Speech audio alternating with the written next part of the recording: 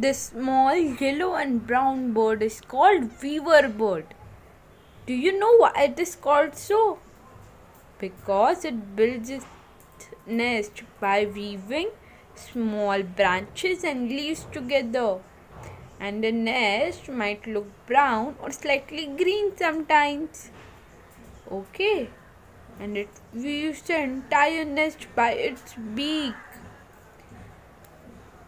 That is why it's called weaver bird. What is its name? Weaver bird. And it is small in size. We are going to do a coloring activity on page number 30 which is related to weaver bird. So let's look at the instructions.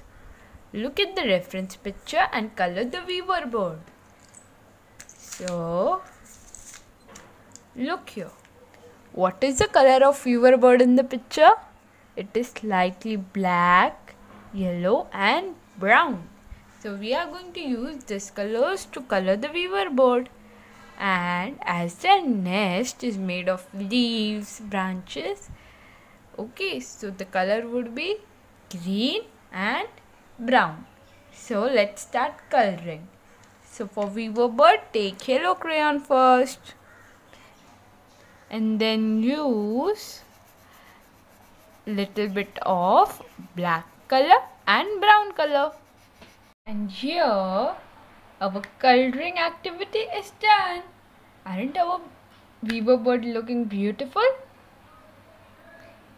What is the name of this bird? Weaver bird.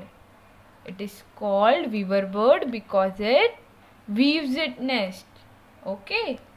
Thank you